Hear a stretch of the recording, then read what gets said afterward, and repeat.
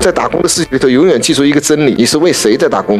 对，一定要记住。很多人说我就是为自己的简历打工，我就是为我自己打工，千万别这么想。如果你想在职场上走得更好，记住，打工永远不是为自己在打工，你是谁根本不重要，老板认为你是谁很重要。所以打工永远只为一个人打工，是谁？老板要方方面面的、全方位的就有这个意思，包括喝酒。我们很多年轻人，九零后、零零后不会喝酒，不会去跟老板相处。我就发现有很多零零后、九零后。因为我也有机会跟企业家在一起共餐嘛，哈，跟我的客户，我发现呢，我们有些企业家带着他的员工来了以后，什么九零后、零零后、九五后来了以后，老板在那里喝，他的那个九零后、九五后的员工不喝，我无所谓，你你一个小男人为什么不喝啊？我一个月一次，男人也一个月一次。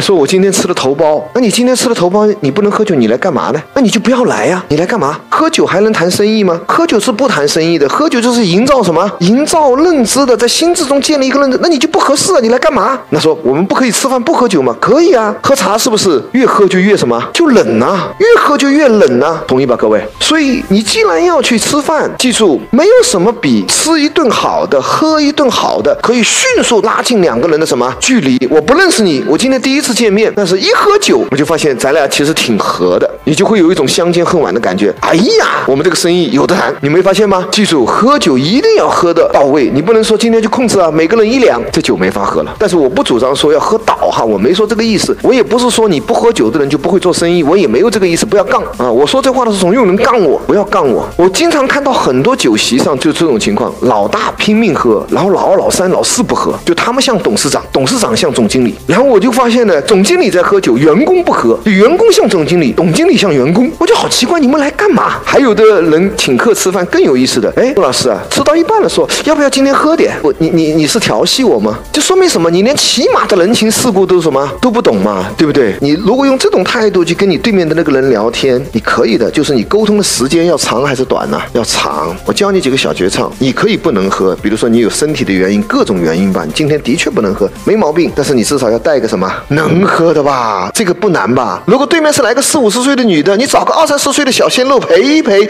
很好的。你有个腰嘛，这个氛围会什么很好嘛？先营造一个氛围，让别人先喜。欢上你嘛？只是因为喜欢上了你，所以我就会觉得你哪里都好吧。所以你最擅长的就是什么？一喝酒把天喝死了，把门关上了。那你吃什么饭？别吃饭了，这饭有什么好吃的？同意吧，各位？还有的人喝酒各种奇葩，有的人喝酒是这么喝的。哎，顾老师，今天晚上我们就喝那个敬酒吧。他说我觉得敬酒很好，你叫我怎么接？你请客，我能说不好吗？对吧？那我怎么接？我说不好不好，还是茅台好？我能这么说吗？我说不好不好，还是雄正好？我能这么说吗？你这叫请请客吗？你不如不请，这样请，同意吧？一个好的饭局是什么？哎，看看这位先生啊，我们龙哥要来了。龙哥喜欢什么？你最好找他的秘书啊，找他身边的人了解一下。如果龙哥喜欢喝红酒，今天我们就应该主推什么？主推红酒。他喜欢喝白酒，我们就主推白酒。他喜欢敬酒，咱们就敬酒，同意吧？是这个逻辑吗？这就是定位讲的，要从外向内看。我们很多人不是的，我们很多人请客都不会请，从内往外看。顾老师啊，我喜欢吃素，要不今天晚上我们就吃素吧？偏偏我又是一个喜欢吃素，我不是很喜欢。吃肉，所以咱俩还挺配的。万一的万一，我不喜欢吃素，你这么聊天，我会很什么？我觉得这顿饭就就没意思。我去他干嘛呢？还有我们很多同学说，我们这里最有名的特产，我碰过这样的饭局，就是炖肘子。顾老师，今天晚上我们就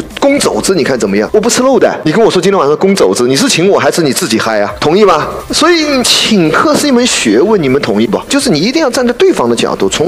那个你就会赢。我们做事的目的不是为了让自己嗨，聊天的最终目的是为了让谁嗨啊？是让对方嗨。别聊着聊着把自己聊嗨了，对方聊趴下了。你这个生意做的，所以我们为什么很多人生意不会做？我告诉你，你吃顿饭就知道。所以重要的客人来啊，我不是说每个客人，就是你生意中重要的客人来，一定要做一点什么？做一点功课的。你不能请了一个大老板来、大领导来，什么功课都不做，一上来就敬酒。哦，对不起，不能老讲敬酒，人家以为我不喜欢敬酒。我。爱敬酒，听懂我的意思吗？就是你不能够就老，因为我们有个客人，一上来就说我们喝敬酒，把我喝懵了。我靠，我二十八岁喝敬酒不合适，你知道吧？是不是啊？你这这个酒怎么喝下去啊？喝不下去啊！我就说我今天那个正好有点胃溃疡，那个肠肠的那不能喝酒。就没法喝的酒，这怎么喝酒呢？你说是不是？所以从这个角度上来讲，我就想说，要学会一种方式，这种方式在我们定位里头属于高级知识。我不知道大家能不能，我通过这种生活细节讲出来一个很高级的专业观点，叫成果在外。你记住这个，慢慢体会啊！你一生的高度，不管是做个人还是做企业，你一生的高度，你都要记住这四个字，叫成果在外。